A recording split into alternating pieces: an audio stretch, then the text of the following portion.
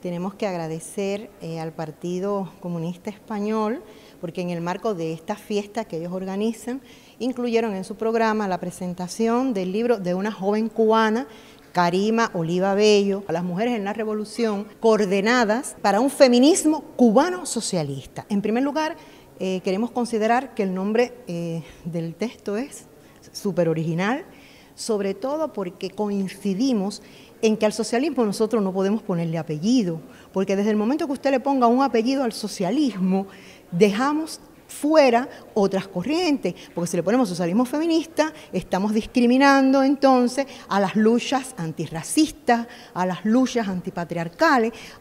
en, ese sentido, para nosotros es el feminismo socialista marxista.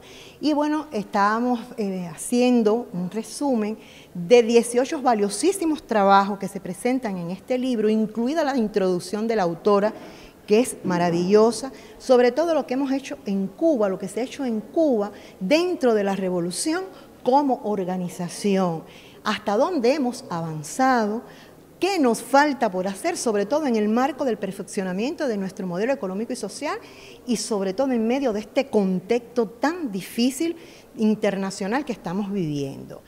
Y hemos resaltado bastante, nos hemos eh, dado a la tarea de resaltar y de basarnos en los logros de la mujer cubana, porque eh, la mujer cubana en este sentido, eh, solamente, vaya, para mencionar algo, forma parte, nuestro parlamento está formado solamente por el 53% de este parlamento está formado por mujeres cubanas. nosotros hemos llevado un proceso a cabo ahora, un proceso de, de votación del Código de Familia, en el cual está el papel de la mujer está muy, muy, muy representado. Y creo que una muestra más grande de esa voluntad política que existe en nuestro país es precisamente la reciente aprobación del Código de las Familias, un código que eh, costó, porque una campaña muy fuerte para eh, realmente eh, desacreditar el código, pero venció la verdad. El amor venció al odio. Y ahí estamos y ahora tenemos el desafío de que ese código se implemente y se cumpla realmente como eh, se ha concedido. Entonces, le damos las gracias, queríamos darle las gracias a la solidaridad, queríamos darle las gracias al Partido Comunista Español por habernos dado esta posibilidad y decirles que seguiremos batallando. Eh, decíamos ahora con Elian, digo que es que hasta la, naturaleza parece que se ha aliado en muchas ocasiones con el imperio para hacerle daño a esa pequeña isla que no por pequeña deja de ser grande, deja de ser gigante, siempre avanzando con el legado impercedero que nos dejó Fidel que nos dejó nuestra querida Vilma y tantos hombres y mujeres, no solo de Cuba, sino del mundo, que siempre han confiado en nuestra revolución cubana.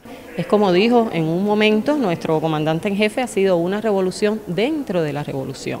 Han sido logros que son evidentemente eh, muy resaltados y siempre han sido todos eh, a favor del derecho de eh, nosotras las mujeres. Me incluyo como mujer, como feminista y como parte de esa gran lucha que hemos enfrentado y que llevamos a cabo, eh, no solamente por nosotros, por nosotros en el sentido de la mujer cubana en sí, hemos logrado muchísimo.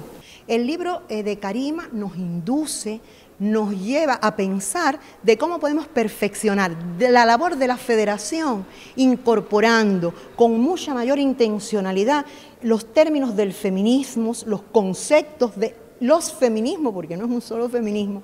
Y nosotros decíamos que en el caso de Cuba vemos el feminismo como la lucha por los derechos de las mujeres, por su participación. No podemos verlo aislado en ningún momento como una lucha específica, porque se ha llevado a cabo dentro del proceso de perfeccionamiento de nuestro propio proceso revolucionario. O sea que hemos tenido en cuenta que no es posible para avanzar en este sentido separar la lucha de género de la lucha de clase. No es posible separar la lucha por los derechos de las mujeres por la lucha de los derechos de todas las personas dentro de un proceso y que para poder avanzar realmente hay que romper con las estructuras imperialistas, con las estructuras capitalistas, hay que romper realmente con los patriarcados. Hemos hecho, creo que nos falta por hacer, creo que podemos aportar mucho más y eh, como recalcamos, considero también de que debemos trabajar muchísimo con las nuevas generaciones todo lo logrado hay que seguir luchando para mantenerlo y perfeccionarlo. Y cada cosa hay que adecuarla a esos momentos, a esas generaciones, a lo que exigen las generaciones. No eh, esperar que estas generaciones eh, nazcan y crezcan eh, asumiendo que ya nacen con derechos, sino que hay que luchar por ellos, hay que ganárselos, hay que reconstruirlos. Tenemos un desafío muy grande. Primero el desafío que tenemos es el bloqueo.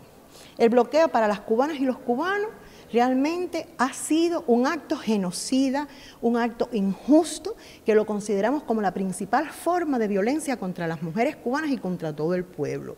Muchas veces hay quien dice, no el bloqueo, no el bloqueo sí, porque hay que leerse todos los efectos nocivos que provoca el bloqueo en las mujeres cubanas, en el pueblo, en las familias porque no es solo eso, sino también creo que es muy importante eh, las políticas nocivas, el daño que se hace a través de los medios, cómo se trata de desinformar sobre la realidad cubana.